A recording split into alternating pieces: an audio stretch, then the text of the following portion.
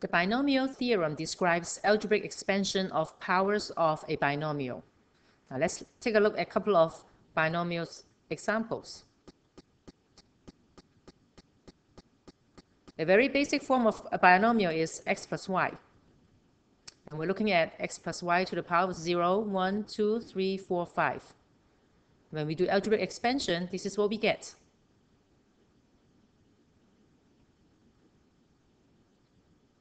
If you pay close attention to the coefficients of the terms that we get after the expansion, and then arrange them in a triangle form, you probably will get this triangle, which we call the Pascal's triangle. This triangle has the coefficient of the terms from the expansion of the powers of binomial.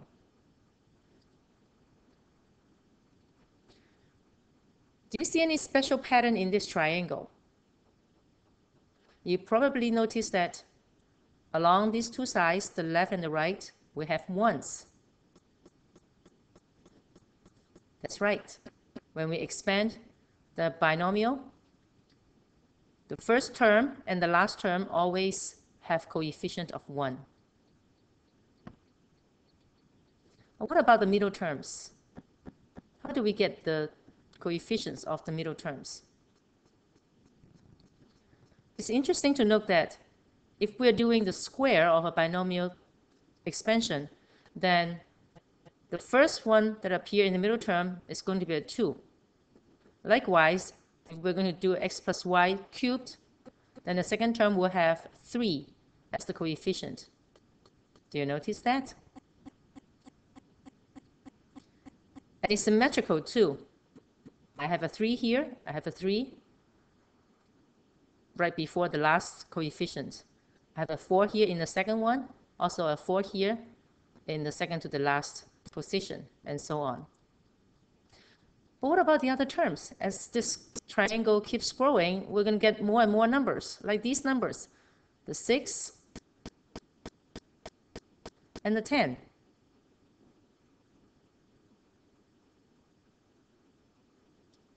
Now take a look at each number. When you look at each number, also look at the two numbers right above each number. Do you notice anything? For instance, this 3 here, look at the number right above it. What do you notice? Look at this number 10, and look at the two numbers right above it. And what do you notice? That's right. You can add the two numbers right above it to get this number. Now, if I ask you to do an algebraic expansion of a big power of a binomial, how would you do it? Well, actually, we have a formula for that, which looks like that. Ooh, kind of intimidating. How do you interpret this formula? This is what the binomial theorem says. This is the formula. Now let's look at each term. In this formula, that we try to expand x plus y to the power of n, forget about these parentheses for now. Let's take a look at the terms. If you go back to the previous examples, you may notice that the first term, you, you have the most order, the highest degree of x. And then when you move on to the next term, you lose one x and you gain one y, and you lose another x, you gain another y. Eventually, you lose all of the x, and you have the highest degree of y, which is 5. So this is what it says here, x to the n, which n can be 5, y to the power of 0, which is just 1. So there's no y in this term. In the second term, and then we lose one factor of x. That's why it's n minus 1. So if you raise to the power of 5, it would be 5 minus 1, which is 4, like this. And then we begin to gain the y. You see the y exponent is increasing. And then at the end, you will lose all of your x, and then you will have n factors of y. Now, how about these parentheses? What are these things? Have you seen them? Okay? You probably have seen another representation of these parentheses. These are the combinations formula. Let's take a look.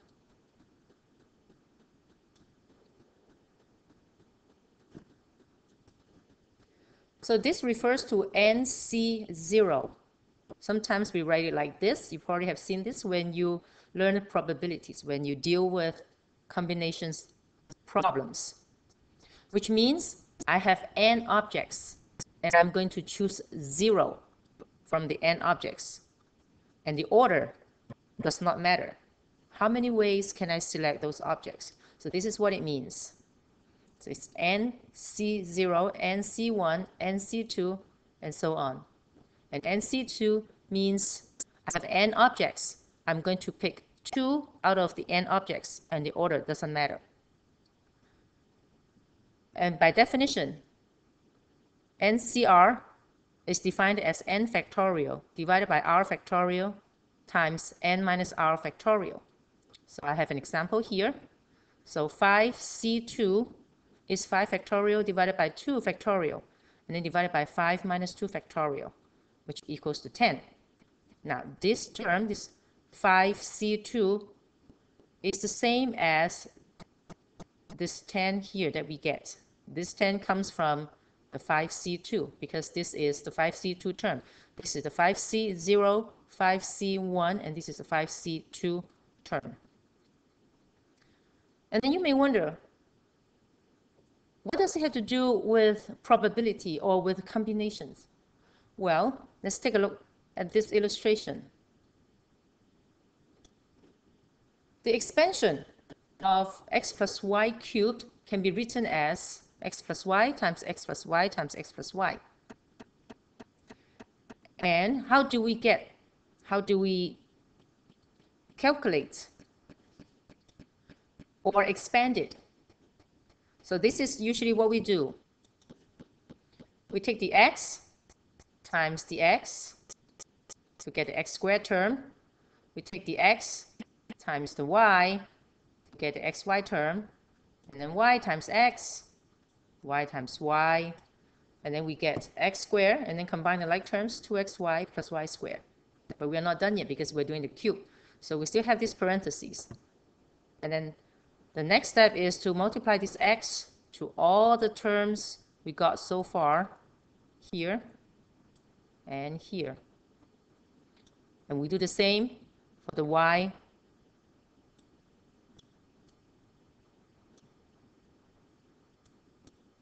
and then we will get all these terms. After we combine the like terms, this is what we get.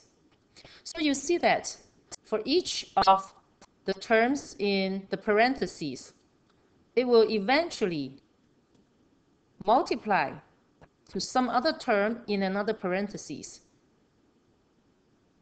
in different ways. How do we get the x cubed term? The x cubed term is actually from taking the x from here, from the first parentheses, times this x times this x. So we have x cubed. Same for the y cubed. But how about the middle terms? How do we get x squared y term? Well, that means we are taking 2x from two of the parentheses and one y. So we could have taken this x from here and here and this y. Or we can take our x from here, but then take the y from here, and then take the x from here. And how many ways can we join up 2x and 1y? Does it sound like a combination problem now?